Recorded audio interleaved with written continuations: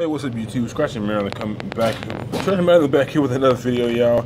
I am just scanning the North Star cash tickets that people, that everybody put in a week ago.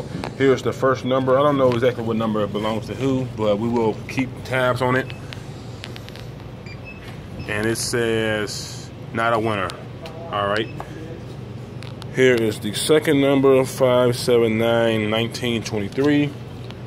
If your numbers hit for any kind of money that's not a large amount, then we would just go back and play it for another week for that for those numbers. All right, 1, 7, uh, 1, 17, 18, 26, and 28. Come on, show me something good. Sorry that it's so blurry, y'all. All right, come on. We got a six dollar winner, so this person here can pretty much play for another week. I'll give that person an extra dollar and play it for another week. All right, this number is 2, 10, 19, 27, 29. Come on, baby. Come on. Got another five winner, so this person right here could play for another week.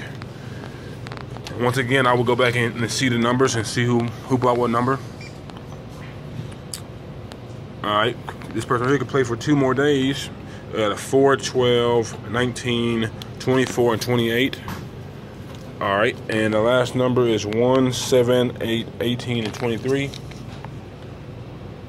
Come on, baby, show me something good. Come on. And they got a win of $1, so we'll play this number one more time.